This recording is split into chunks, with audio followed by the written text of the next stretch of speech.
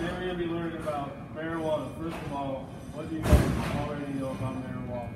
Can't you use marijuana as a treatment? Yup, that's right. In the 90s, I was really smoking on some grass. I always had some dope on me. Me too, I always have the munchies. Hey! Marijuana causes an increased appetite, also it interferes with hormone levels, which increases sperm count. I always laugh a lot and think everything. Weed can be smoked, eaten, vape, lotion. It can be smoked in the bong, joint, and many creative ways.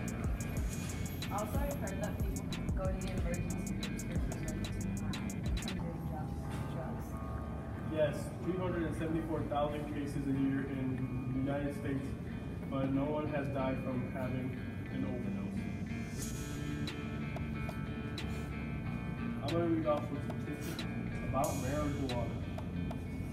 According to the 2010 National Survey on Drugs and Health, roughly 11.3% of Americans have tried marijuana in the last year. For many years, experts believed that marijuana was not addictive, but recent research pro- proves wrong. But people can be addicted from the high. In the United States, 15 states, uh, covering more than 27% of the U.S. population, have allowed laws allowed for marijuana In the United States, 15 states covering more than 27% of the U.S. population have allowed for medical marijuana to be used. Marijuana users come down from their high after a couple of hours before being broken down. More than 4.3 million Americans meet the medical um, criteria for marijuana. 70 participants aged 17 to 23.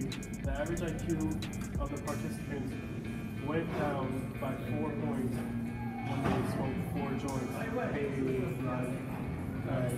Some people experience anxiety and fear when they smoke.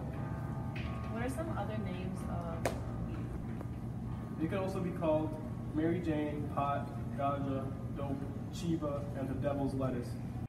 Some long-term and short-term effects of marijuana are, for short-term, you have memory problems, hallucinations, lower reaction time, and can induce a heart attack.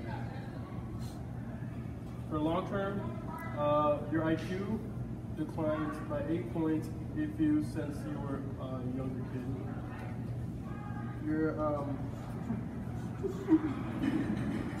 you have relationship problems, partner uh, violence, antisocial behavior like stealing, Hey, do say? stealing and lying, greater.